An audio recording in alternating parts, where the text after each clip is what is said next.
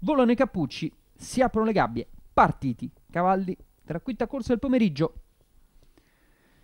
Newella Mr. Knight sono i due più veloci, accompagnati peraltro all'interno proprio da Peppesp. Questo prima parziale veloce da parte dei primi tre, poi seconda linea completata all'interno dalla grigia, Pantalica, poi ancora Zia Rosa, Sicilian Focus, Smart Rug in coda a tutti, Starter for 10.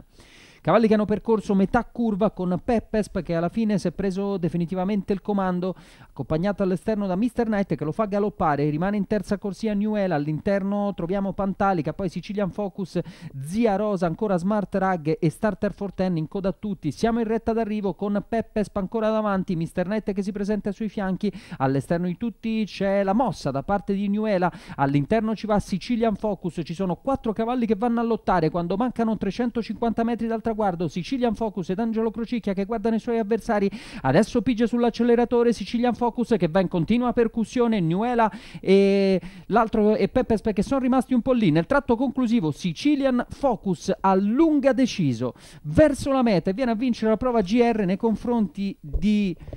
Newella bene alla prima occasione in questo contesto e per il terzo è rimasto in quota Peppers.